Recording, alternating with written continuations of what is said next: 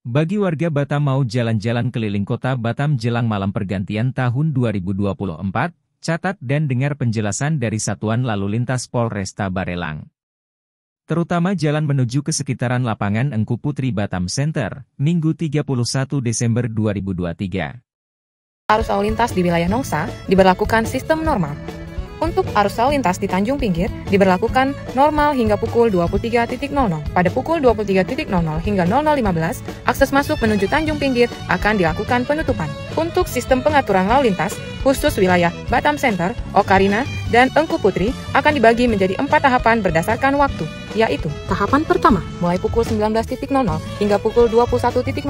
Arus lalu lintas diberlakukan secara normal, namun untuk titik plottingan sudah ditempati oleh personil lalu lintas. Tahapan kedua, mulai pukul 21.00 hingga pukul 23.00, apabila sudah didapati kepadatan arus, maka diberlakukan sistem buka tutup tergantung titik yang padat. Arus dari WTB luar dan WTB dalam hanya satu arah menuju Simpang Samsat, dan dari Simpang Polsek Batam Kota, arus hanya boleh masuk menuju Bundaran, Asrama Haji, dan menuju WTB dalam. Tahapan ketiga, mulai pukul 23.00 hingga selesai, arus lalu lintas dari Simpang Jam hanya bisa digunakan lurus menuju Okarina. Akses jalan menuju Ikan Daun dan Pasiris akan ditutup dan dijaga oleh personil lalu lintas. Dari arah Kepri Mall menuju Simpang Masjid Raya, akses masuk akan ditutup dan dijaga oleh personil lalu lintas di Simpang Global dan Gedung Graha Pena untuk diarahkan ke Greenland. Dari Simpang Hotel Kaliban menuju Masjid Raya, akses masuk akan ditutup dan dijaga personil lalu lintas di depan kantor Samsat. Selanjutnya, diarahkan memutar balik di Yuten Rumah Makan Abizar atau diluruskan menuju Sumatera Expo dan Bundaran OB.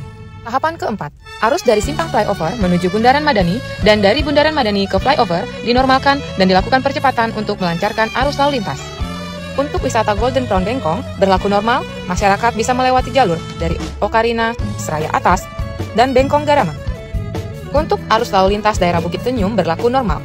Untuk akses masuk Tanjung Uma, berlaku normal. Untuk arus lalu lintas di Marina City, juga berlaku normal. Untuk arus lalu lintas di Harbor Bay, akan diberlakukan secara normal, namun untuk mengantisipasi kemacetan, akan ditempatkan personil lalu lintas. Untuk mengantisipasi balap liar di wilayah Batam Center, akses masuk dari Dobra Seruni akan ditutup dan hanya diperbolehkan masuk bagi masyarakat setempat yang tidak terindikasi balap liar. Demikianlah informasi rekayasa dan pengaturan arus lalu lintas dalam rangka menyambut tahun baru.